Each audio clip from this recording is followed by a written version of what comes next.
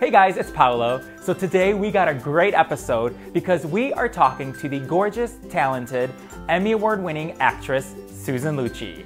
Now, she was the queen of daytime for 41 years on All My Children as Erica Kane, but today she's starring in one of my favorite shows on Lifetime, Devious Maids, and it's back for its fourth season. I can't wait to go talk to Susan. See you there. His life was changed and made new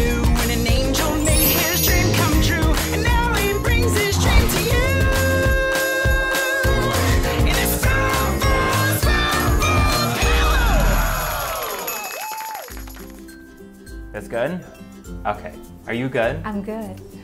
You know, this is an honor to have you on our show, Susan. I'm so happy to meet you and be here. Like- Thank you. Thank no, th- don't thank me no more. I gotta thank you. I, you know, I could, you know, in the middle of the night, I was awake, and Pat's like, "Why can't you sleep?" I'm like, "Why are you sleeping? Susan Lucci's gonna be here in eight hours." Like, he's, like, he's like, "But you have eight hours." I'm like, "I just can't sleep." I was so excited, oh, and Oh, you're just, I mean, I said, "You're just gorgeous. You're just, you're a beautiful, humble person." So Thank you so much. and I'm I so and I have to say to my you. mother, because if I don't, she's gonna kill me.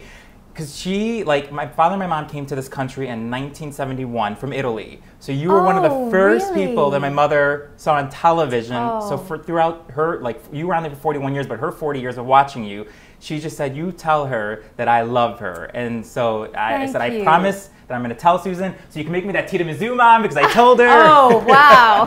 Thank you so much. Thank you so much. Really, this means so much to me. So many women who Mm. came here uh, from other countries, from, from mostly brunette countries, came here and couldn't speak English. And they Mm. my say they learned to speak English Yeah. by watching Erica Yes, Kane. yes. And that makes me so happy. It's one of the most really Oh. touching things about my whole English 101 was with you, like uh, 100%, because she they came here speaking only Italian, so she would tell by your gestures, you know, what Erica was doing, and then she just learned throughout the, all those years. So Which is fantastic. Ah. Thank you so much. I only have to say, I wonder sometimes since all these women learn to speak English from watching Erica Kane, do we have a country now of divas, like real divas? oh my god! And speaking of divas, Devious Maids is back, season four. Yes.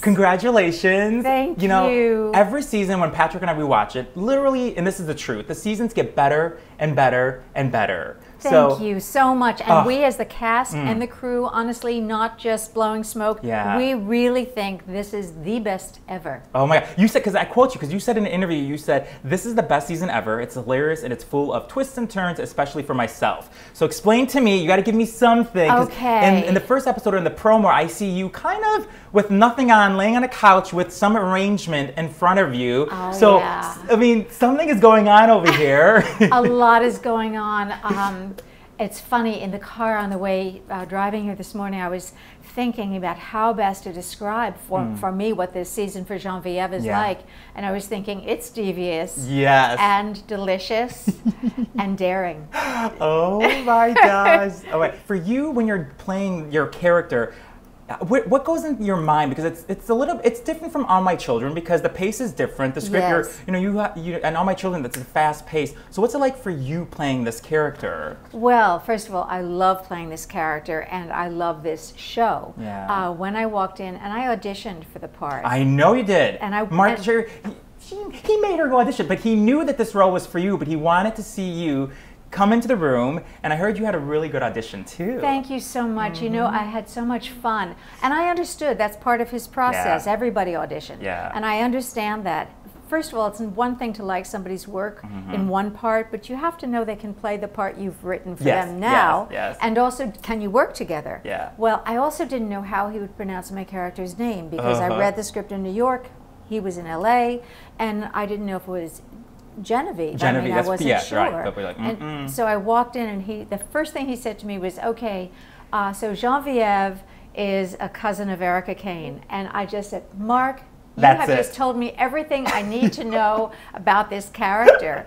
You know, I mean that she's called Genevieve de Yeah, la Tour. If you're- Amazing. Right? I mean, if you're going to follow Erica Yes, Kane, yes. that's the- Genevieve yes. de la Tour. You know what's great is that when you're doing interviews, you know if they're really watching the show because sometimes they're like, "Oh, I love your character, Genevieve," and you're like, "No, you're not watching it. That's not my character's name." But you're thinking inside, "I got you over here."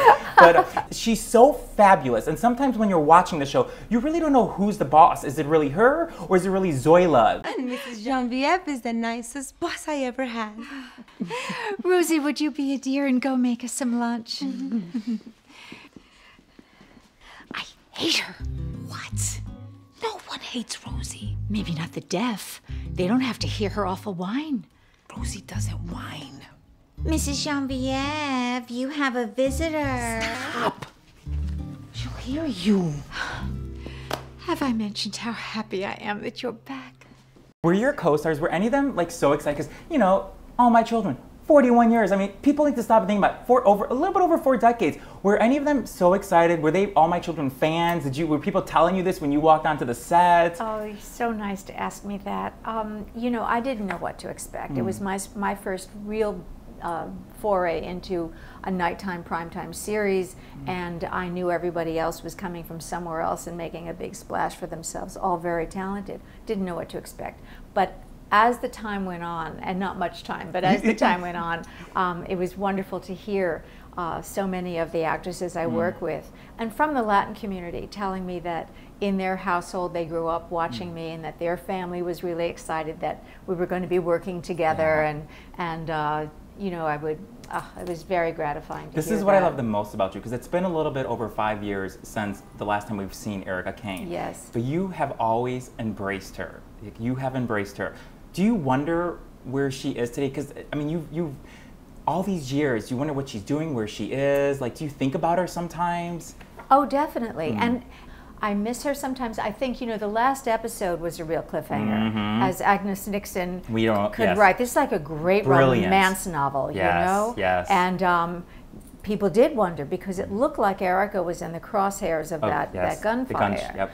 And uh, at the same time, she was saying, Mm. I'm going to get Jack back. And um, her friends were saying, I don't think so. well, her only friend. Oh, Yeah. Opal. Her good friend, yes, Her good yeah, friend her was good saying, friend, uh, yes. I don't think so. And she said, just watch me, which is very Erica Kane. Yeah. Out the door, but in the crosshairs. Oh God. You know, see, I don't think she was killed. I don't think she was killed either because No. she's going to come back or the show will come back somehow. But my question to you is that people really wanted me to ask you this is will there be some kind of return in the future for daytime if the if you know for a guest role and let's see another soap on General Hospital do you ever th- do you ever think about that would you return if the role was right or is the door still open The, the door is still open. I will say that um, when all my children went off the air, the you know the other the other shows that have survived and are wonderful Yeah. uh, with great writers too. You know they they had asked if I would, and you know my feeling was.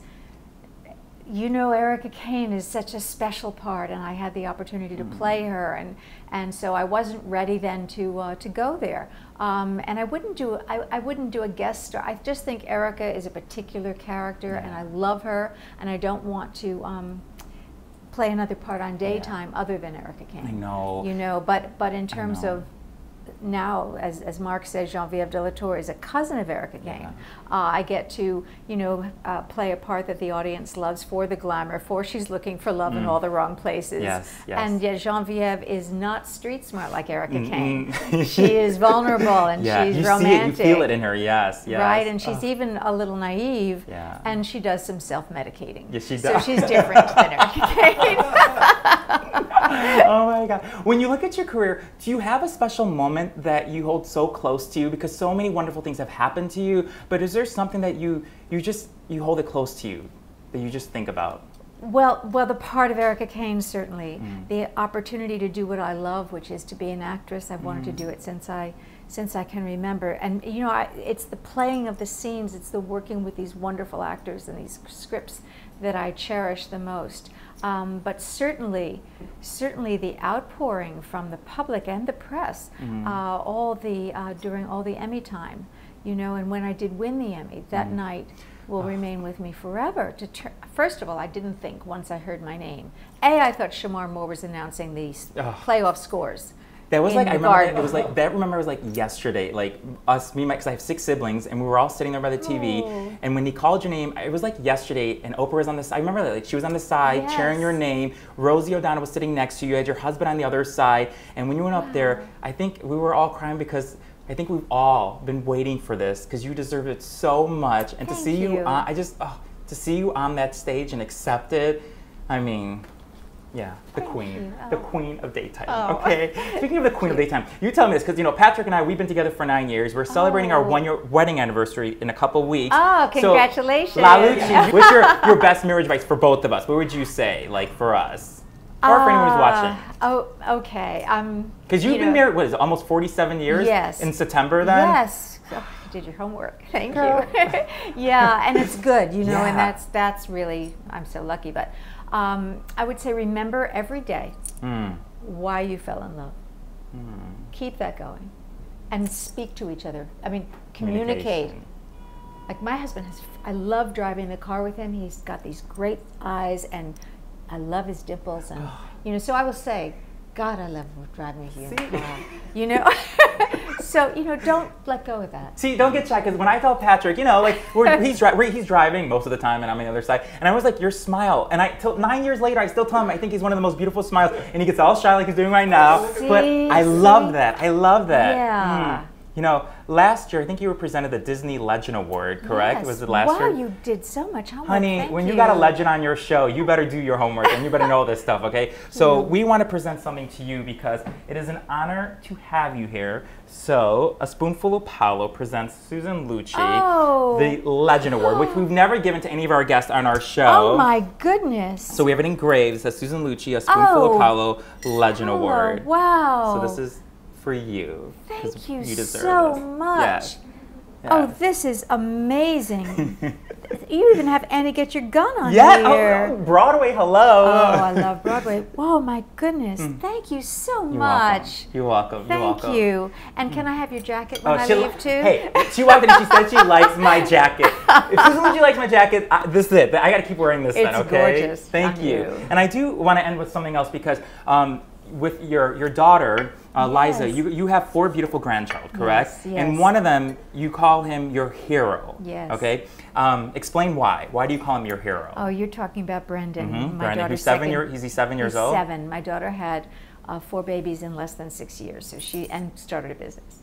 So she's been very busy. And the second born, uh, Brendan, who's seven, um, was diagnosed with cerebral palsy Mm. when he was just a little over two years old, and we didn't know anything about CP. And uh, we have since learned that it's a, a big umbrella, Mm. uh, and um, the, or it's a condition, not a disease. I It's love when you, you, you keep saying that, and I love that. I want people to really hear that. That when, when someone is diagnosed with this, it really it's it's not a disease. It, No. It's not. We have to make that very clear. Yeah. Right. Yeah. And um, because we didn't know much about it, we um, I always thought it was my daughter's story to tell if it were going to be told. Mm. I started working with um, United Cerebral Palsy of New York City, Mm. who's phenomenal. I learned so much, and yet I thought, and I could do my little bit for Yeah. helping Brendan and people in a similar situation. But it was Liza's story to tell. Uh, Brendan on this umbrella, on this spectrum, is m- mildly uh, has a mild condition of cerebral palsy, mostly affecting his gait, his legs. And um, but my daughter, through her research, since we told the story in People magazine, and we did it for Brendan because we wanted to speak so proudly of him and what a so he great boy he is, so Yes. he knows. And um, also to uh, shed some light on cerebral palsy because as we didn't know anything about it till we needed to, many people don't know. You know, and in honor of, of your grandson, um, we wanted to donate $100 to the United Cerebral Palsy of New York City. Oh my we want We just want to get it out there. Just it's a little something because that's what you need to do. You need to get it out there. So this check is for you. My Yeah. goodness, I will so gratefully and graciously pass this on. Thank you. Thank you so much. You are amazing. Oh. Thank you. Not me, you're amazing. Thank you so, so much. You're welcome. You're welcome. So I just want to say thank you for being here because you are just one. She is one of the nicest people in this business. Okay, like you're just so humble, so beautiful. I mean, like it's like you sleep in a freezer or something. I'm like- Well, the studio told my children was very, very cold, so I think I we were all, all like 41 hermetically years, it's sealed. like, I mean, It's a meat locker. Oh my god. So thank you, Susan Lucci. And don't forget, Devious Maids, Monday nights, Lifetime. I mean, watch it. It's here. It's back. And It's back. I'm so excited. I'm so Thank excited you for you. so much. Continue success. Thank I will be Thank rooting you you. on. Thank and you so I love you so much, okay? Thank you. Back at you. Ah. all the best to you. Thank you. Thank you. Thanks, everyone. We'll see you next time at Spoonful of Paolo. Bye. Bye. Oh, thank you. Thank you so much. It has been such a joy. Oh, thank you. Big. Spoonful of Paolo. I love you, Oprah. Bye, everyone. We'll see you next time. Bye. Thank you.